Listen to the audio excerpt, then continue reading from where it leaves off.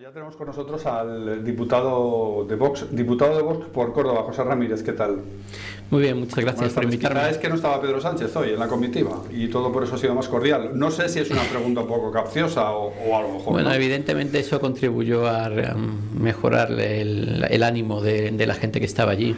De todas maneras, también es lo que estabas comentando hace un momento. Eh, si la primera vez que, reciben una comitiva del, del Estado, después de sufrir un, bueno, una desgracia como la que habían sufrido, una catástrofe como la que habían sufrido en Valencia.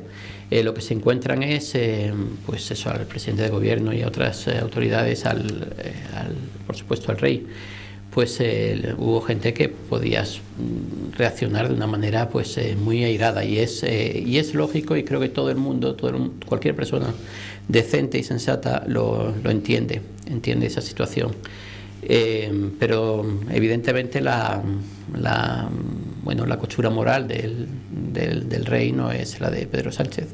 Y él ha ido allí otra vez pues, para expresar de nuevo su apoyo a los valencianos y los valencianos le han correspondido, pues eh, como, como, sucede casi siempre que el rey va a cualquier sitio, en, en, cualquier parte de España, le han respondido con cariño.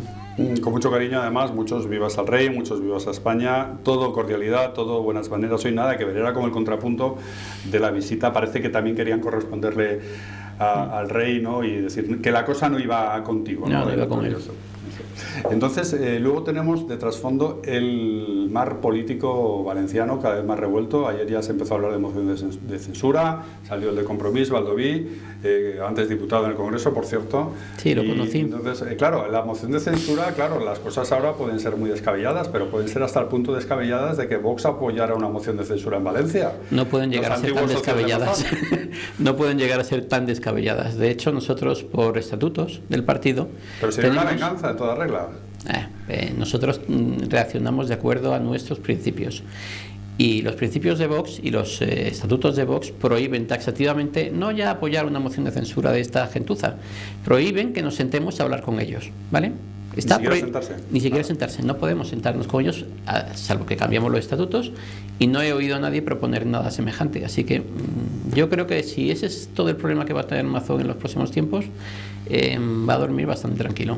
Porque Mazón, ¿qué tal lo ha hecho a juicio de Vox en Valencia? Bueno, mm, Mazón lo ha hecho bastante mal. O sea, creo que es una idea que todo el mundo tiene bastante mm, asumido. Otra cosa es eh, que se está utilizando la figura de Mazón para descargar de culpas al presidente de gobierno y a las autoridades del Ministerio de Transición Ecológica, a las autoridades, a todas las autoridades de este gobierno que, es, que en nuestra opinión tienen una responsabilidad muchísimo mayor de la que están asumiendo, muchísimo mayor. Entonces, eh, nosotros no estaremos nunca a favor de, quitarle las eh, responsabilidades que evidentemente eh, corresponden al presidente de la, del gobierno valenciano, pero de ninguna manera vamos a apoyar que se le demonice para salvar a Pedro Sánchez, que por desgracia es lo que están haciendo muchos medios de izquierda.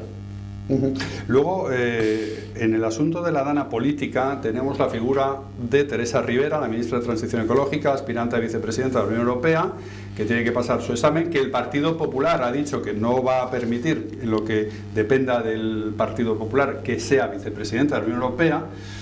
Y, tenemos eh, las maniobras de Pedro Sánchez para intentar salvar esa situación, incluso coqueteando con eh, la primer ministra italiana Meloni, muy, por cierto, muy defendida siempre desde Vox.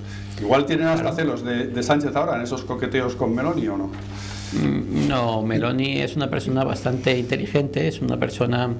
Ahí los eh, tenemos, ahí los tenemos. Sí, sí, ahí los tenemos, pero eh, tú coge la, la hemeroteca, que en el caso de Sánchez casi siempre es espantosa, y sus eh, declaraciones acerca de Giorgia Meloni son, son bueno, eh, son, un espanto. Y evidentemente eh, hay personas en este mundo que aunque a Pedro Sánchez le cueste mucho trabajo incluso entenderlo, tienen dignidad. O sea, es, es, es un elemento con el que yo creo que él no cuenta.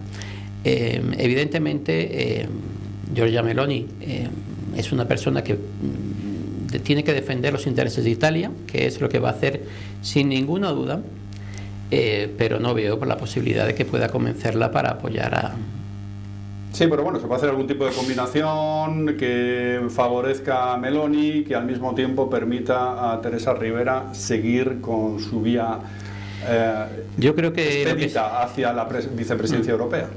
Eh, no, lo único que puede suceder es que eh, el Partido Popular Europeo le busque una forma medio airosa al Partido Popular Español de intentar salir del, del asunto, pero piense usted que, que la posibilidad de que Giorgia Meloni, que ha sido excluida de los repartos de, de la Unión Europea, que no tiene, Italia no va a tener eh, representación en ese colegio de, de, comisarios de la Unión Europea.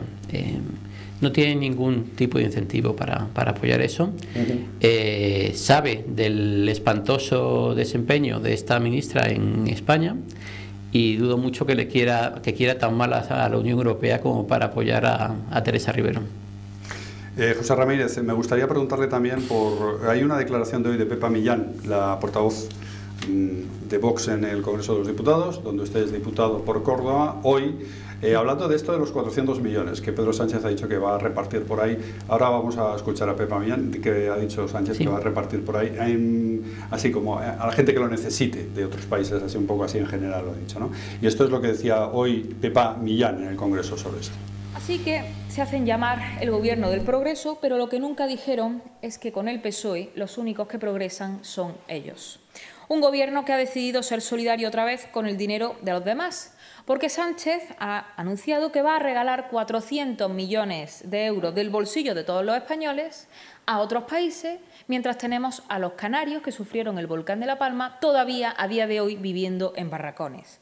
Y hay otros ejemplos absurdos que demuestran el nulo respeto del Gobierno por el trabajo ajeno. Y les podría decir muchos ejemplos, porque yo estoy convencida de que ustedes desconocen que el Gobierno de España destina ingentes cantidades de dinero, por ejemplo, al Instituto del Salvador para el Desarrollo de la Mujer, al Ministerio de Salud de Etiopía, al Ministerio de Igualdad de Colombia, al Ministerio de la Mujer de Perú, a la Sociedad Marroquí de Ingeniería Turística, al Ministerio de Agricultura de Etiopía o al Centro Paraguayo de Estudios Sociológicos. A esto destina el dinero el Gobierno de España, mientras tenemos a los canarios viviendo en barracones y quién sabe cuándo podremos ayudar a los valencianos a salir de la terrible catástrofe a la que se han visto sometidos.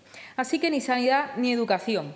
Dispendio, impuestos altos, ineficiencia y falsa solidaridad pagada con el sudor de todos los españoles ajenos al Partido Socialista y a su órbita de enchufado. Claro, esto cuando tenemos un dramón como el que tenemos en Valencia, por ejemplo, cuando hmm. están los de La Palma todavía, tres años después, esperando a que les llegue algo de lo que dijo Sánchez que iba a llegar. Claro, esto puede quedar bien, esto de decir, vamos a dar 400 millones porque somos un país muy solidario, no se sabe muy bien a qué, pero a, a cosas que se necesitan por ahí, por el mundo. Pero claro, también es fácil decir lo que dice Pepa Millán, oiga, pero que aquí hay muchas necesidades. No sé si pueden ser compatibles las dos cosas. Bueno, de hecho, cuando yo estaba en esa rueda de prensa, estaba muy cerca de vuestra cámara, y una de las cosas que he pensado mientras estaba eh, mi compañera haciendo esa enumeración es la de instituciones relacionadas con Etiopía a las que nosotros habíamos eh, regado con dinero. Eh, sabéis quién es el que dirige la OMS eh, y sabéis eh, a qué ministra de España acaba de ser nombrada representante en la OMS. Entonces yo pensé, estos eh, se, han dedicado siempre a lo mismo, a regar eh, organismos internacionales para luego poder situar a los suyos. Es algo que llevan Ese es el objetivo de, los 400 millones. Sin, ninguna duda. Crear fundaciones y demás para luego situar a la gente socialista cuando se vayan del poder. Es, lo que llevan haciendo toda la vida. Es lo que hicieron también en, cuando se fue Zapatero, que si os recuerda, eh, regaron varias instituciones de la ONU para poder mandar allí a varias de sus ministras, de sus ministras, a, a Viviana Aido y a todos, toda esta gente eh, que estaba saliendo en ese momento del poder en España. Entonces, que el gobierno eh, actual eh, haga eso, por desgracia, eh, es, es, un, es un insulto a todos nosotros. Que es que en estos momentos hay 800.000 personas viviendo en el barro, en, en, Valencia. Que es que todavía eh, los eh, voluntarios están sacando barro de las casas en Valencia y están intentando encontrar muertos. Que es que no puede ser que en estos momentos se haga eso. Y no estoy hablando de, de un tema de demagogia. Estoy pidiendo un poco de respeto por los españoles. O sea, podríamos decir la cara oculta de los 400 millones de Pedro Sánchez que él dice que destina a las necesidades? Los, los destina al Banco Mundial. Y el Banco Mundial eh, hace sus propios... Es colocar a los suyos. por supuesto.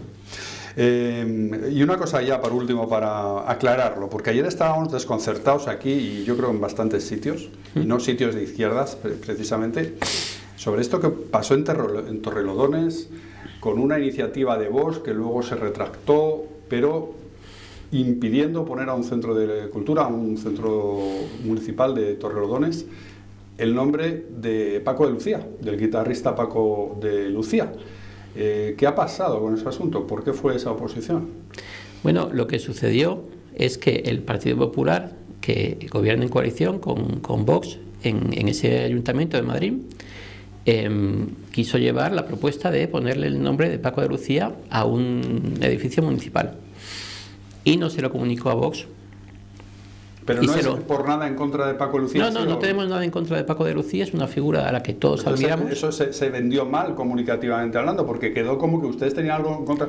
A ver, si me hubieran dicho, no, se oponen a que pongan el nombre de la pasionaria. Bueno, entonces hubiera entendido, pero bueno, Paco de Lucía, que al final es un artista muy reconocido por todo el mundo, con una proyección internacional que también todo el mundo reconoce. Sí, sí, eh, y bueno, muy admirado por, por muchos de nosotros, incluido yo.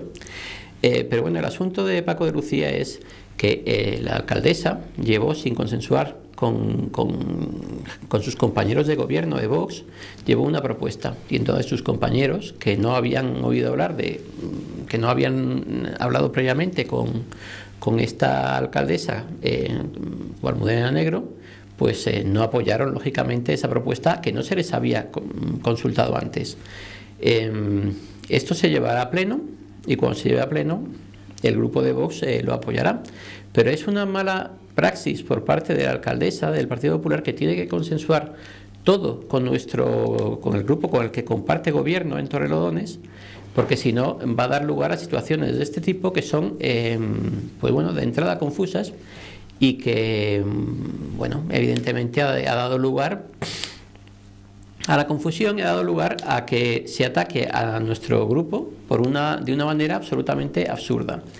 Eh, por desgracia esto nos, nos sucede bastante a menudo, o sea, eh, que se coja un, un asunto de un gobierno municipal, se busque de la, se explique de la manera más eh, torticera posible y se, y se le eche la culpa de, de cosas, de, pero de lo más absurdo, o sea, lo de Paco de Lucía es casi de un, casi una broma, ¿no? Pero, reconozca que, a ver, que sí que se entendió muy mal, por lo menos se entendió muy mal, se entendió como que ustedes tenían algo en contra de este artista español eh, internacionalmente reconocido.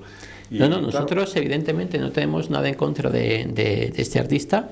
Nuestro grupo municipal emitió un comunicado casi inmediatamente diciendo que iban a apoyar al día siguiente esa, eh, esa designación eh, que se le pusiera ese nombre a ese edificio municipal, pero que estaban eh, absolutamente consternados por la forma en la que eh, se les ninguneaba por parte de la alcaldesa, porque si tú mm, estás, si tú formas parte de un gobierno y te encuentras las cosas cuando llegas a las comisiones o te encuentras las cosas. Pero la alcaldesa dice que a ustedes sí que les informaron de, de, esa medida, vamos, que tenían toda la información precisa. Bueno, es que em, la, alcaldesa mm, puede decir lo que considere, pero evidentemente en nuestro grupo eh, no, no, se consideraba ni informado ni consultado, desde luego, acerca de, de este asunto. Cuando, un, cuando dos grupos políticos comparten gobierno, deben consensuar las cosas que vayan a llevar a pleno. Es eh, de primero de, política, es eh, absolutamente increíble que lleves cosas a un pleno sin haberlas consensuado con las personas a que te lo tienen que votar todo, porque es que eh, creo que los espectadores deben saberlo. Todo aquello que Vox no apoye no sale adelante, porque el gobierno municipal de, de Torrelodones depende en gran medida de Vox. Entonces, si no te han consensuado, si no te han consultado algo, si no lo has acordado, es muy difícil que tú lo puedas apoyar. Ahora bien, eh, Vox no tiene absolutamente nada en contra de, Paco de Lucía y por esa razón va a votar a favor de que ese edificio se llame así. Pero ya digo, eh, no, no son formas de hacer política municipal y no son formas de, crear un clima eh, propicio para que el gobierno de Torrelodones consiga llegar a buen puerto. José Ramírez, diputado de Vox por Córdoba, gracias por estar con nosotros de nuevo. Gracias y hasta la próxima. Muchísimas gracias a vosotros.